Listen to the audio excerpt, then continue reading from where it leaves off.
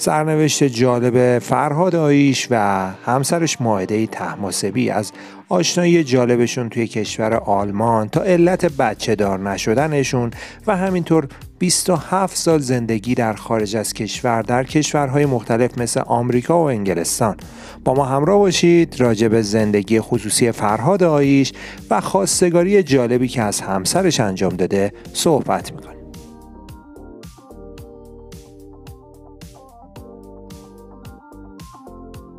سلام سلام چطوری رفقا به کانال خودتون کانال میم تیوی خیلی خیلی خوش اومدید. امیدوارم حالا احوالتون خوب باشه و اوضاع به کام باشه.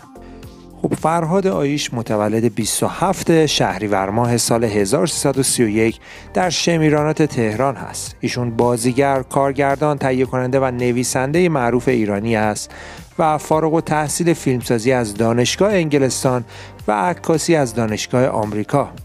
ایشون کار نویسندگی و نمایشنامه نویسی تئاتر رو هم توی کارنامهش داشته و 27 سال هم خارج از کشور در انگلستان و آمریکا زندگی کرده.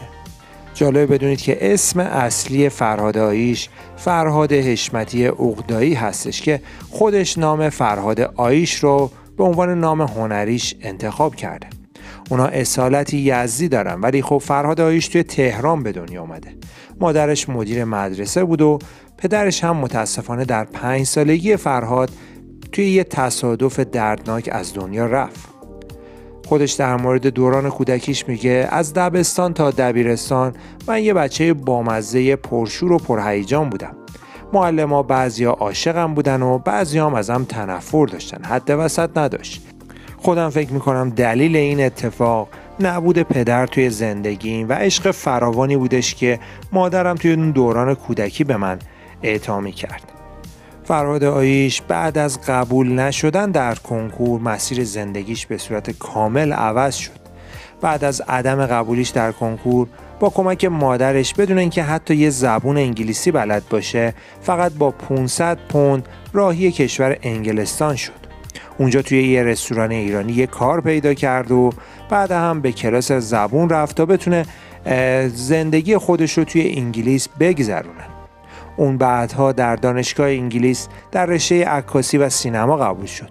بعد هم به خاطر ساخت فیلم کوتاه بورسیه تحصیلی گرفت و در بخش لابراتوار و عکاسی دانشگاهشون 16 سال هم کار کرد.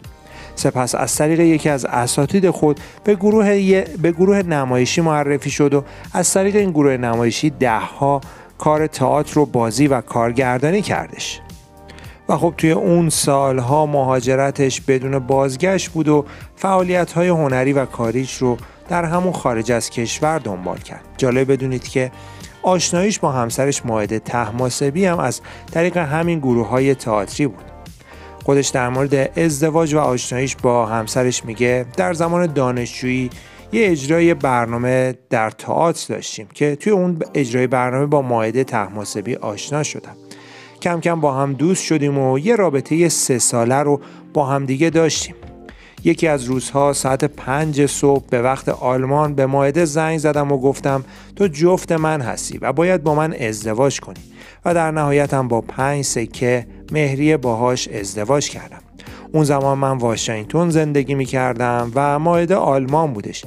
واسه همین اختلاف ساعتی هم که بین آمریکا و آلمان وجود داشت یهو پنج صبح من به فکر افتادم که باید همین الان به ماهده تماس بگیرم و ازش خواستگاری کنم. و خب این شدش که از همسرش خواستگاری کرد و الان سال هاست که با همدیگه زندگی می‌کنن. فرهاد آیش نزدیک به 27 سال در خارج از کشور زندگی کرد که حاصل این زندگی 27 ساله بیش از سی نمایش بودش که توی اونها یا در نقش کارگردان یا در نقش بازیگر حضور داشتش. فرهاد و همسرش در نهایت در سال 76 وقتی که فرهاد 45 ساله بود تصمیم گرفتن که به ایران برگردن و زندگیشون رو توی ایران ادامه بدن. بعد از بازگشتش به ایران در اولین کار هنری که انجام داد زمستان 77 با تئاتر شب روی سنگ فرش کار در صحنه تئاتر ایران رو شروع کرد. چند ماه بعد با مجموعه سلام کوچولو وارد قاب تلویزیون شد و سال 79 هم با فیلم شبهای تهران به کارگردانی داریش فرهنگ بازی در سینما رو در 47 سالگی تازه تجربه کرد. فرهاد آیش رو می‌تونیم شروع شهرتش رو سریال قطار, قطار ابدی بدونیم که در سال 79 از شبکه 3 پخش می‌شد. بعد از اون در سال 82 با مجموعه بانکی ها و بعد از اونم با سریال باجناق ها که خودش اون رو کارگردانی کرده بود و توش بازی می‌کرد به اوج شهرت رسید. جالبه بدونید که فرهاد آیش و همسرش ماهده تحماسبی هیچ وقت بچه دار نشدن و این خاص و انتخاب خودشون بوده. خودش در مورد علت بچه دار نشدنش میگه ترسی هست از بچه دار شدن و من و همسرم تمام دوره های آزادی هایی که توی زندگیمون داشتیم رو با نداشتن بچه در دوران پیری تاخ زدیم. و خب از این انتخاب هم پشیمون نیستیم. این آزادی ها قیمتی دارد و قیمت اون برای ما بچه دار نشدن بود. جالبه بدونید که فرهاد آیش و همسرش رژیم غذایی خاصی هم دارن و خودش مدعیه که بیش از 25 سال هستش که لب به هیچ نوع گوشتی نزده. خودش میگه من و همسرم 25 سال گوش نمی‌خوریم. خوب نیست آدم برخی موجودات رو نگه داره به اونها حسابی برسه بهشون غذا بده بعد سرشون رو ببره و اونها رو بخوره. بیشتر سعی می‌کنیم ما غذاهای شرقی که پر از سبزیجاته رو استفاده بکنیم. بزرگترین علاقه شخصی فرهاد آیش تئاتر هستش. خودش میگه تئاتر رو خیلی دوست دارم. در زمان خلوت نویسندگی تئاتر می‌کنم. کار در سینما و تلویزیون برام فرقی نمی‌کنه. مهم چالش نقشه و اصولا هم کمدی رو بیشتر از نقش های جدی بازی می‌کنم و دوست دارم. فرهاد آیش توی دوران کودکی یه موزیسین خیلی خوب هم بود ولی خب از فضای موسیقی یه مقدار فاصله گرفت. خودش در مورد کار موسیقیش میگه در کودکی به کلاس ویالون می‌رفتم. بعد از مدتی استادم به من گفت چون دستت عرق می‌کنه هیچگاه نمی‌تونی ویالونیست بزرگی بشه. برای همین من هم ویالون رو کنار گذاشتم و گفتم باید ویالونیست درجه یک شوم. یا هم که برم سراغ یه هنر دیگه. این شد که موسیقی رو کنار گذاشتم و اومدم سراغ بازیگری. خودش در مورد موسیقی مورد علاقش میگه زمانی عاشق موسیقی کلاسیک بودم و بعدترم به موسیقی جاز علاقه من شدم.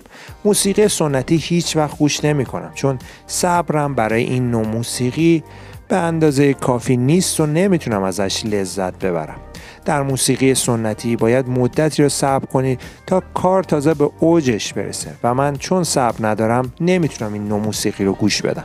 فرهاد در سالهای فعالیتش در فیلم های سینمایی زیادی از جمله خائن کشی شهر گربه ها گیجگاه خوب بد جلف غلامرضا تختی کاناپه 50 کیلو آلبالود یک دوزی عاشقانه آین شمدون پوبک و مشماشالا زندگی با چشمان بسته عاشق مکس عروس خوشقدم اتش سیندرلا عزیزم من کوک نیستم نورا شبهای تهران و مجموعه تلویزیونی برف بی صدا میبارد. نهنگ آبی خندوانه دیوار به دیوار آشوب پردنشین کلا پهلوی پژمان 352 شمس الاماله لطفا دور نزنیم دیوونه خونه شام آخر و خیلی فیلم ها و سریال ها و تئاترهای دیگه اشاره بکنیم. اگه با کارهای این هنرمند خاطره دارید حتما فیلم یا سریال مورد علاقتون رو برای ما تو بخش کامنت ها بنویسید. یک دنیا هم سپاس برای لایک این ویدیو و subscribe کانال. امیدوارم همیشه شاد و سلامت و پیروز باشید. تا ویدیوی بعدی خدا نگهدارتون. پیشنهاد می‌کنم در ادامه هم یکی از این ویدیوها رو تماشا کنید.